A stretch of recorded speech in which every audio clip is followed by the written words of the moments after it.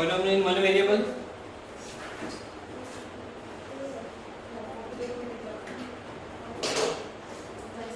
one variable है ना? Let the variable be x y z कुछ भी आप लिख सकते हो। तो वन वेरिएबल का मतलब क्या है? थ्री एक्स प्लस फाइव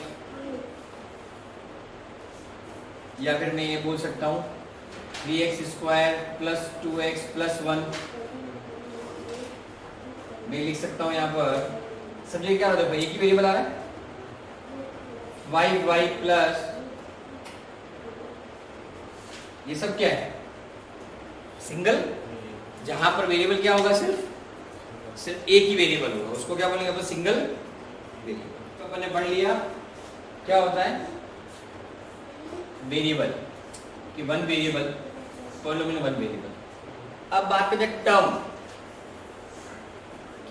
जो आपकी इक्वेशन दे जो आप, आपका पॉलिनोमियल जो एक एल्जेब्रिक एक्सप्रेशन दे रखा है। जैसे ये क्या आपका एल्जेब्रिक एक्सप्रेशन है? वेरिएबल ज़रूर रहेगी लेकिन फॉर्म कौन सा है आपका?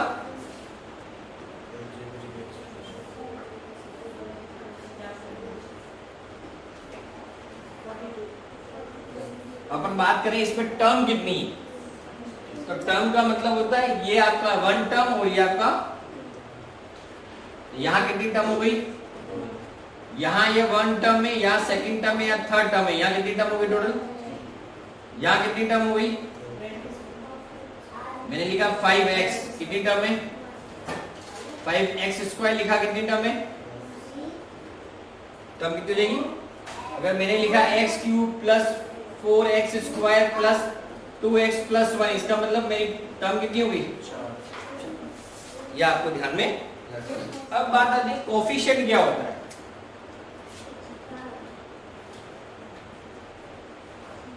कोएफिशिएंट वो भी कितनी बार पूछ लेते हैं आपसे? कोफिशिएंट कितना होता है ना?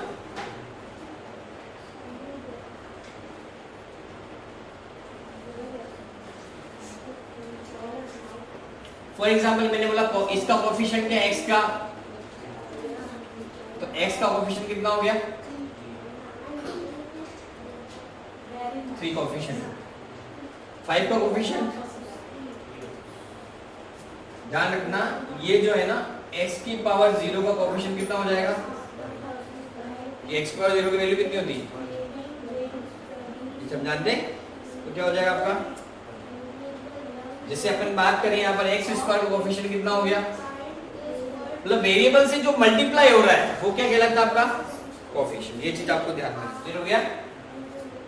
जैसे ये है आपका सॉरी ये यहाँ एक्स क्यूब है ना? X cube four x square अगर मैं यहाँ बात करूँ कि एक्स क्यूब का कोफिशिएंट क्या है, क्या लिखेंगे अपन? एक्स स्क्वायर कोफिशिएंट कितना क्या लिखेंगे? एक्स का कोफिशिएंट कितना है? और वन जो है वो एक्स की पावर ज़ीरो का कोफिशिएंट है। एक्स की पावर ये तो हमें क्या है? टर्म पता चल गई। कोफिशिएंट पता चल गए। पॉलिनोमियल वन वेरिएबल पता चल गया। कितनी बार ध्यान रखना, जैसे आपको ये दे रखा है x या y. इसका मतलब ये क्या ये वन एक्स है, ये वन वाई ये कॉस्ट आपस में क्या हो रहा हैं? मल्टीप्लाई कितनी बार आपको न्यूमेरिकल में नहीं हो गया हम ऐसे भी मान सकते हैं, x D Y C Z इसका मतलब क्या है? कि ए क्या बन गया आपका? कांस्टेंट कोफिशिएंट ये क्या बन गया? कांस्टेंट वैल्यू है, और ये क्या बन जाएगा आपका? सेम यहाँ पर भी।